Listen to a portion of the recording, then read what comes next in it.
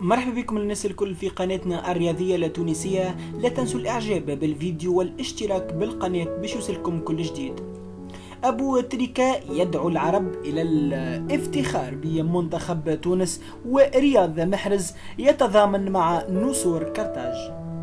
أكد أبو تريكة النجم المصري السابق أن منتخب تونس قدم أداء مشرف مضيفا لأنه على كل تونسي وعربي أن يفتخر بهذا الجيل وهذا المنتخب مشددا على أن نسور قرطاج كانوا أفضل بكثير من السنغال وكانوا يستحقون النهائي لولا الحظ والظلم التحكيمي تلك المباراة مما سلط عليهم ضغط.